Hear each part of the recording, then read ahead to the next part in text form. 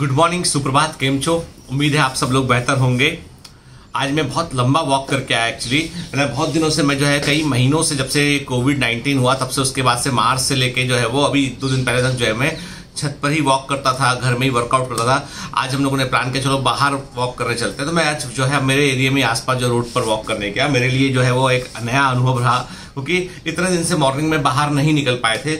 और अब लगता है कि थोड़ा जनजीवन सामान्य होने की कोशिश कर रहा है। हालाँकि कोरोना खतरा अभी भी टला नहीं है तो मास्क वास्क लगा के सब करके जो है लोग बाग सड़कों पर दिखे मुझे। और ये मेरा जो एरिया है बेसिकली वो अल्टा माउंट एरिया कहलाता है। अल्टा माउंट रोड के वाला एरिया कहलाता है। यहाँ पर जो है वो, मैंने पहले भी बताया, ये कम्बारा हिल है, जो मुंबई का सबसे पॉश एरिया में से एक है।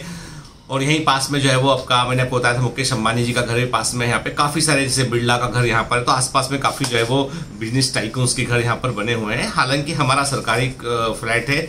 हम लोग जो है वो इतने बड़े नहीं है कि उनके बीच में कहीं फ्लैट ले लें हम है? हमारा जो फ्लैट है वो भारतीय को एलोकेटेड फ्लैट है ना, ठीक है? लेकिन ये एकदम पॉश एरिया में सरकार के पास भी भैया पॉश एरिया में प्रॉपर्टी होती है, ऐसा नहीं है। खैर, ये एक दूसरा मुद्दा हो गया।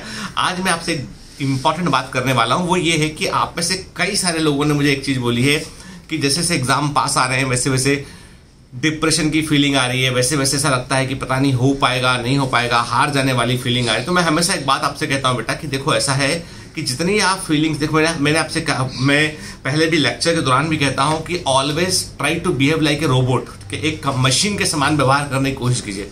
मशीन का काम होता है कि फ़ीड करना और टास्क को परफॉर्म करना।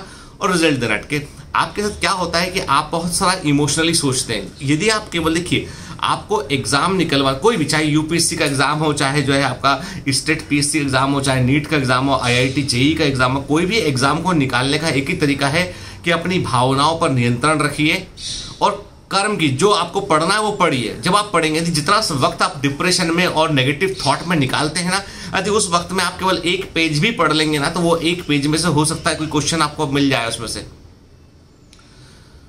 कई बार मैं भारती से पूछता हूँ, जब वो पढ़ती थी यूपीएससी के दौरान तो मैं पूछता था उनसे कि भाई, तुमको कभी पढ़ते के दौरान डिप्रेशन नहीं आता था कभी कि नहीं हुआ सिलेक्शन तो क्या होगा मेरा? तो बोलती थी, जब मुझे डिप्रेशन आता था तो मैं और ज़्यादा पढ़ती थी उनके। जब मुझे डिप्रेशन आता था तो मैं ना और दो तीन अखबार पढ़ती थी लाइब्रेरी जाके बढ़ जाया करती थी इसके अब बताओ ये ऐसा यदि कोई कोई विद्यार्थी होगा, कोई स्टूडेंट होगा, जो डिप्रेशन आने पर ज़्यादा पढ़ने लगता होगा। नेगेटिव थॉट आए तो ज़्यादा पढ़ने लगे जाके, और दो घंटा ज़्यादा पढ़ेंगे, आज नेगेटिव थॉट आ रहे हैं, क्योंकि हमको इस नेगेटिव थॉट को पॉजिटिव में कन्वर्ट करना है, और कन्वर्ट करने के लिए हमको पढ़ना ही पड़ेगा।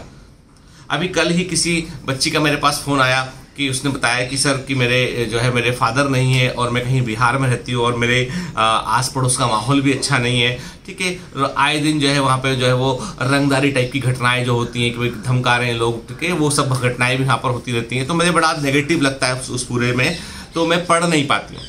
तो मैंने उस बच्ची से एक ही बात बोला। मैंने कहा, बेटा, एक बात बता तू मेरे को कि तू पढ़ेगी नहीं तो तू इस माहौल से बाहर कैसे निकलेगी? हमारा एजुकेशन ही एकमात्र ऐसा अस्त्र है एक ऐसा वेपन है जिसके थ्रू हम जो है वो अपने आप को जो है उस माहौल से दूर कर सकते हैं और एक बेहतर इन्वायरमेंट में पहुँच सकते हैं आपके।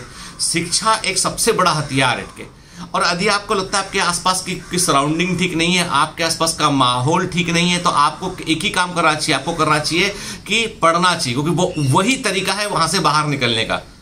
वहाँ से भाग जाना कि एक दिन ट्रेन पकड़ी, बॉम्बे आ गए, दिल्ली आ गए तो ये कोई तरीका नहीं है, क्योंकि इसमें जो है वो शोषण होने की संभावनाएँ बढ़ जाती हैं।